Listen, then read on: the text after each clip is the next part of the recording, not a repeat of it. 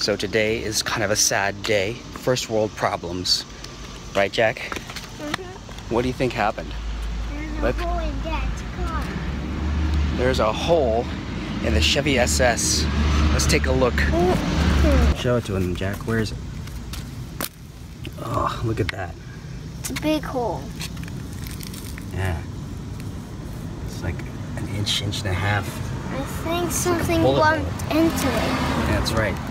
Yeah, last night, um, on my way home, the car in front of me looked like they tried to avoid something and kicked it up under their car, and it ended up striking mine. It looked like something metal or steel, like uh, looked like a tire iron, but I don't think it was. It was just something pretty heavy. I thought it might have been just a big tree branch. Then I get home a few minutes later and I inspect the front, and there it is.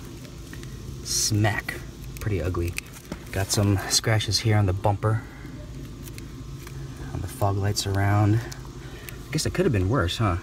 It could have hit the headlight, What if the hole got much bigger? or it could have hit the the hood, could have hit the windshield, but no, just this. So, insurance said they'll cover. It's comprehensive.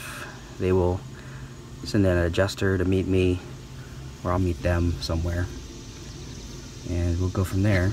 So that's the update on the Chevy SS, the unfortunate incident. Now, let's see. This hole. It's like driving around with a pimple. So what do you think we should do? Should we put a happy face sticker on it? no. I don't have one. Um, I'll probably put painter's tape on it for now, just to keep stuff out of it. And um, hopefully I get it fixed soon. Thanks for watching.